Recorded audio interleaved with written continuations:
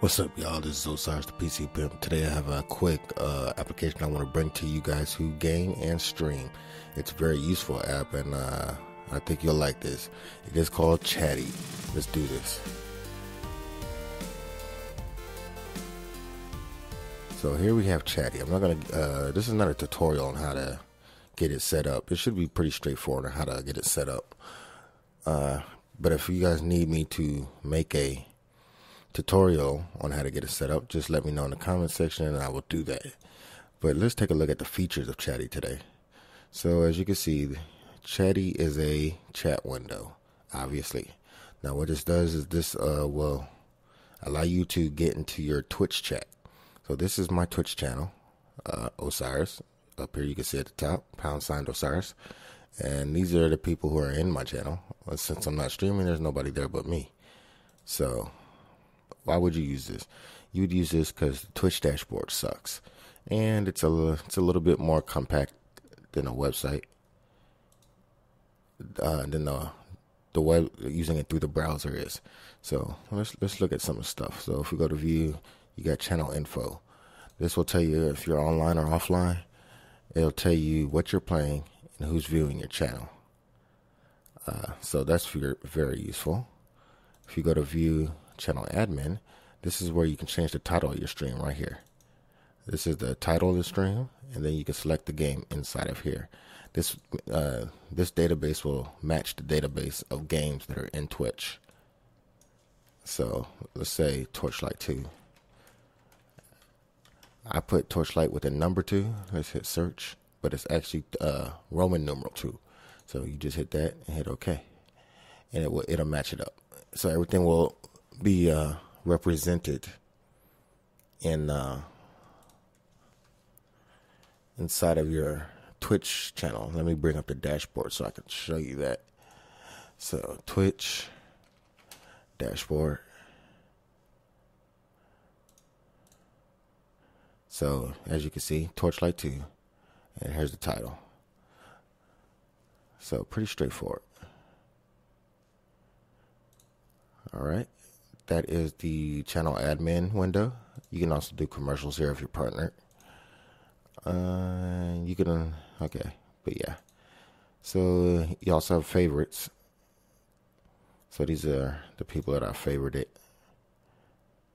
Uh, you can join their channels automatically through uh, Chatty. So this is useful if you are just watching a channel too. So I can I can join Blind Run Gaming channel. I know he's live.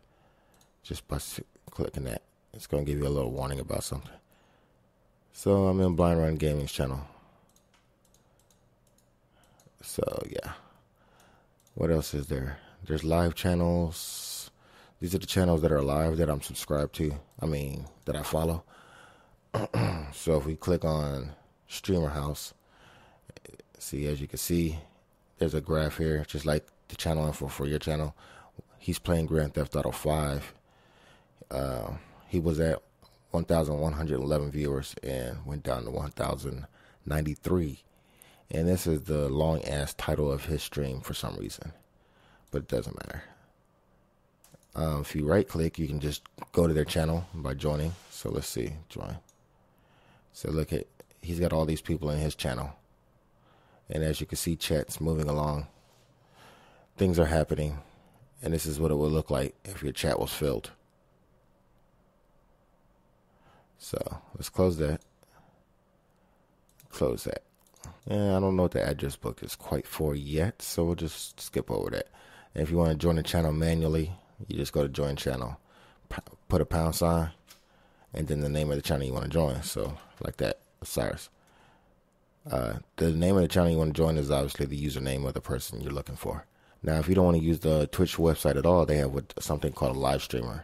That's a plugin for VLC, uh, video player, that will allow you to watch Twitch streams through VLC. And you can open it up from right here. You have standard emoticons as you would on the Twitch website. So like this. See? So that's my uh, channel operator icon. And there's a regular emoticon right there. Um, this will show you your followers in the last few days. I mean, your followers since you got on Twitch, actually. I believe. And this is a good way to manage to see how many people are following you and when they followed you, how many days ago, so you can get a record of how good you're doing. You have the exact same thing for subscribers. For subscribers, you obviously have to be partnered. And that will round out the features that I know of. All right, now what we want to do with this is get chat on screen so that people can see that you're not actually talking to yourself. Because that was kind of annoying, right? Uh, knowing well when you when you push it to YouTube or something, and other people see the video, you don't want them to think that you're talking to yourself. It looks kind of weird. So anyway, what we're gonna do is we're gonna add a new source down here, window capture. We'll call it chatty. And next to window, we're gonna go down to the window chatty, and there you go. Now let me make this larger so you guys can see it. So if we're looking at chatty, what we're going to want to do is get rid of this menu system up here. And by doing, just do that by scrolling there. Now we want to get rid of the user panel on the right hand side. So just scroll until you get to the white bar. I like to get rid of the white bar, so no bar. And then we want to get down where you enter the text. We want to get rid of that. So just scroll. Now this this window's too large for me. Uh, up here at the top. So I'm just going to type in some number, see if I like it. Uh, that was left pixels, wrong one. Let's go to the top. There we go. Uh, about that much chat should be good, right? Yeah. And then you just hit OK. Now, if you look on here, now we have our window, but it's not transparent. So when you have a game playing in the background, uh, there'll still be this black box. To fix that, just go to Chatty, right click, filters.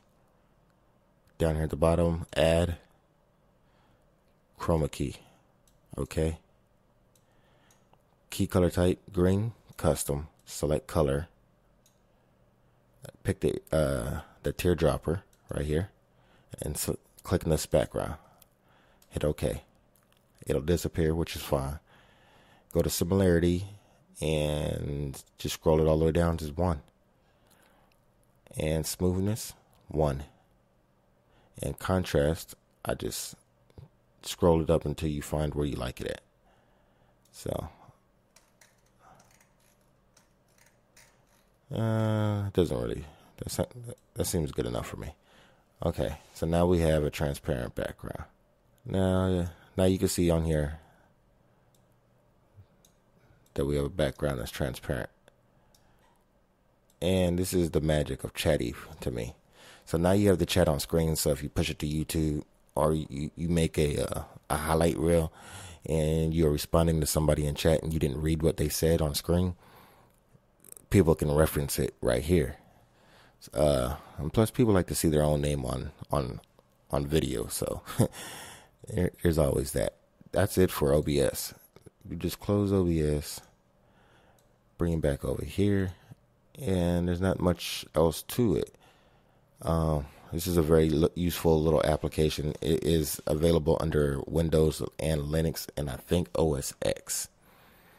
Um, it's just a little Java application, not hard to use, and very useful for the live streamer. That way, you can actually close all of the browser and just use this. So hopefully you found this uh, piece of information useful.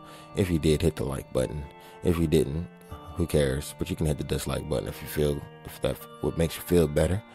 Uh, if you want to see more content in the future, go ahead hit that subscribe button. This is Osirez PC Pip, and I'm out.